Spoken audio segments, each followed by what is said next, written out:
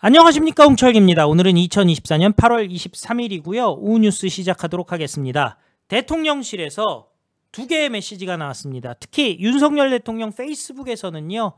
교토국제고 고시엔 우승에 대한 메시지가 나왔고요. 또 후쿠시마 괴담 이거 민주당이 선동을 해서 혈세 1조 6천억을 낭비하게 됐다. 대국민 사과하라. 가만두지 않겠다. 민주당 박살내겠다라는 메시지가 나왔습니다. 자, 그런데 여기서 중요한 일이 있습니다. 계엄령이 준비되고 있다. 김민석이가 주장을 했는데요. 근거가 있느냐 했더니 도망갔다고 합니다. 계엄령에 벌벌 떨고 있는 김민석. 뭐 대통령이 지금 계엄령 생각할 일도 없겠죠. 그런데 왜 계엄령 준비서를 버티릴까요? 결국 대통령 탄핵 조기 하야 저자들의 목표겠죠. 우리는 똘똘 뭉쳐서 윤석열 대통령 지켜내야 될 것 같은데요. 자, 그 관련된 소식 여러분들께 쭉 소개해 드리도록 하겠습니다. 자, 대통령실에서 입장이 나왔습니다. 자, 민주당 후쿠시마 괴담 선동에 혈세 1조 6천억이 투입이 됐다. 대국민 사과하라 라는 메시지가 나왔습니다. 대통령실은 후쿠시마 오염수 방류 1년을 하루 앞둔 오늘 야당을 겨냥해서 8월 24일은 후쿠시마 괴담 방류 1년 되는 날이다 라면서 국민 앞에 사과하라 라고 요구했습니다. 정혜전 대변인은 대통령실 브리핑에서 윤석열 정부는 괴담을 이겨낼 길은 객관적, 과학적 검증뿐이라고 믿고 이를 위해 해양 방사능 조사 지점을 92곳에서 243곳으로 확대하고 수입 신고하는 모든 수산물에 대한 생산지 증명서를 확인해 왔습니다. 지난 1년간 국내 해역, 공해 등에서 시료를 채취해서 49,600여 건의 검사를 진행한 결과 안전 기준을 벗어난 사례는 단 한 건도 없었습니다. 라고 얘기했습니다. 핵폐기물 제2의 태평양 전쟁과 같은 황당한 괴담 선동 아니었으면은 쓰지 않았어도 될 예산 1조 6천억 원이 이 과정에 투입됐습니다. 야당이 과학적 근거를 신뢰하고 국민 분열이 아닌 민생을 위한 정치를 했다면 사회적 약자를 위해 쓰였을 수 있었던 혈세입니다. 라고 얘기를 했죠. 국민 공포감 증가와 국론 분열로 들어간 사회적 비용은 돈으로 환산할 수조차 없다. 라면서 괴담의 피해는 어민, 수산업 종사자, 국민들에게 고스란히 돌아왔다라고 얘기했습니다. 자, 정혜전 대변인은 그럼에도 불구하고 야당은 반성은커녕 지금도 자극적인 발언으로 황당한 괴담 선동만 한다면서 우리의 검사 결과 5만 건은 외면하고 안정성을 입증할 근거를 제시하라는 앵무새 논평만 제시하고 있습니다. 라고 얘기했습니다. 반성의 시작은 솔직한 사과와 재발 방지 약속이라면서 광우병, 사드에 이어서 후쿠시마까지 국민 분열하는 괴담을 그만하겠다고 약속하고 지금이라도 국민 앞에 사과하길 바란다 라고 메시지를 냈습니다. 괴담이 아닌 과학을 믿고 정부를 믿어준 국민 덕에 대한민국은 미래로 나아갈 수 있었다면서 정부는 국민 건강을 최우선에 두고 과학적으로 안전을 검증해 나갈 것이다 라고 메시지를 냈는데요. 자, 민주당 자기네들이 잘못해놓고 뻘소리를 하죠. 사실 국민 여론이라는 게 그렇습니다.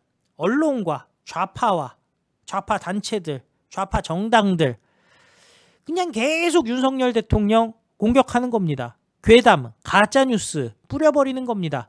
마찬가지로 윤석열 대통령이 마치 계엄을 준비하고 있다라는 식으로 얘기했던 김민석 근거가 뭡니까? 라고 얘기했더니 상황에 따라 말씀드리겠다. 근거에 대해서는 꽁무니를 뺐습니다. 더불어민주당의 최고위원인 김민석이가 계엄령 빌드업 논란에 대해서 그것이 현실되지 않도록 적정 단계에서 내가 경고한 거고 대비하고 무산시켜야 된다는 입장이다. 아니 무슨 계엄령 아무것도 없는 상황에서 계엄령이 준비되고 있다. 걸리니까 이거 계엄령이 벌어지지 않도록 내가 경고한 것뿐이다? 웃기지도 않죠. 자, SBS 라디오에서 진행자가 어떤 근거를 갖고 있습니까? 라는 질문에 자기가 지난 총선 당시 국정원의 정치 공작에 대해 경고했고 최근 정보사 기밀 유출에 대해서도 정보를 입수해 문제 제기를 했던 적이 있었습니다. 라면서 필요한 것은 그때그때 상황에 따라 더 말씀을 드리겠습니다. 라고 얘기했죠. 8월 21일 최고위원회에서 윤석열 대통령의 반국가 세력 발언을 공격하면서 국방장관의 교체, 대통령의 뜬금없는 반국가 세력 발언으로 이어지는 최근 정권 흐름의 핵심은 국지정과 북풍 조성을 염두에 둔 계엄령 준비 작전이라는 것이 근거 있는 확신이다. 윤석열 대통령이 지금 국지전이라는 것은 사실상 전쟁을 유도하고 있다. 도대체 윤석열 대통령이 무슨 전쟁을 유도를 합니까? 아니 핵을 개발하고 남을 남 대한민국을 겨냥하고 있는 김정은한테 끽소리 못하면서 윤석열 대통령이 전쟁을 유도하고 있다, 유발을 시키고 있다. 아유 참 이런 애들이 북침을 얘기하는 거 아니에요. 참. 김민석이는 이렇게 얘기합니다. 탄핵 국면에 대비한 계엄령 빌드업 불장난을 포기하기 바란다면서 계엄령 준비 시도를 반드시 무산시키겠다. 계엄령 준비도 아니고 계엄령 준비 시도라고 뺑뺑 도망갈 국리를 하는 거죠. 당연히 국민의힘에서는 반발했습니다. 아무런 근거도 없는 막, 막말이고 망언이다. 안보 사항까지도 정쟁으로 끌고 가겠다라는 궤변이다라고 얘기했는데 윤석열 대통령이 반국가 세력에 대한 문제는 을지자유 방패 연습과 관련해서 당부한 거고 반국가 세력들이 있으면 당연히 항전 의지를 다져야 되겠죠. 그런데 더 황당한 건 이겁니다.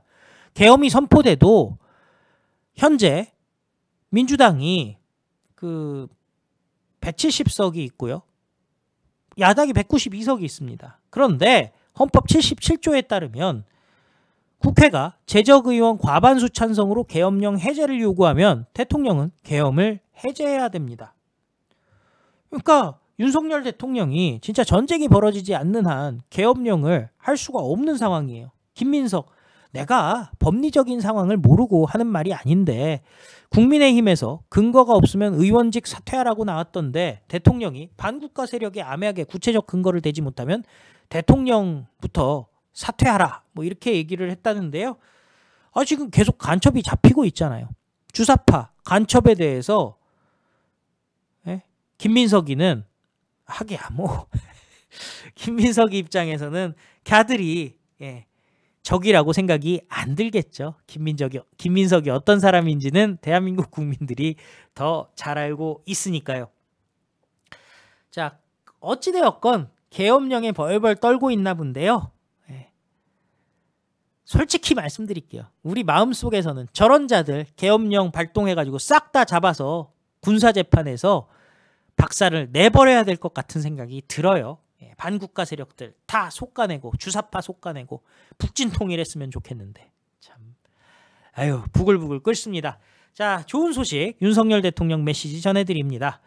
동해바다 건너서 야마토 땅은 거룩, 거룩한 우리 조상 옛적 꿈자리 교토국제고의 한국어 교가가 고시행 결승전 구장에 힘차게 울려 퍼졌습니다. 교토 국제고의 고시엔 우승을 진심으로 축하합니다. 열악한 여건에서 이뤄낸 기적 같은 쾌거는 제일 동포들에게 자긍심과 용기를 안겨주었습니다. 야구를 통해 한일 양국이 더욱 가까워졌으면 좋겠습니다. 역시 야구는 위대합니다. 많은 감동을 만들어내니까요. 대통령실에서는 기아 타이거즈에도 감사 인사를 했다라는 건데요. 야구공 1000개를 교토국제고에 기아 타이거즈에서 후원을 했다라고 알려지고 있죠. 국가 차원에서도 감사 인사를 해야 된다라고 얘기해서요. 최준영 기아 타이거즈 대표에게 감사의 뜻을 밝혔고 또 기아 타이거즈도 앞으로 야구용품 지원을 확대하겠다라고 얘기를 하고 있습니다. 일본 고시엔에 한국계 교토국제고가 2대1로 승리를 했죠. 어, 이거 대단한 경사입니다. 자, 윤석열 대통령이 그 결승 진출에 대해서 응원을 하니까 또 우승을 해버린 거죠. 그동안 반일 프레임 쌓고서는 일본과 우리를 적으로 만들려고 했던 좌파들, 심지어 국민의힘 내부에서도 윤석열 대통령의 그, 그길 플러스 한일 관계 정상화, 한일 관계 발전 문제에 대해서 공격을 하는 자들이 그동안 있었습니다. 과연 국익을 위해서 또 세계 사회의 일원으로서 어떤 게 옳은 방향일지 그거는 우리가 다 알고 있잖아요. 진짜 매국노는 대한민국의 국제 관계, 국제 관계에서의 대한민국의 위치, 그리고 지금 세계 속에서 대한민국이 해야 될 역할 다 있는데 이를 다 무시하고 예, 한미 동맹, 한일 관계 망치려고 하는 자들이 진짜 매국노가 아닌가 하는 생각이 들고요. 후쿠시마 괴담 만들어내는 세력들 1조 6천억을 손실하게 만든 세력들 그 자들이 매국노란 생각이 듭니다.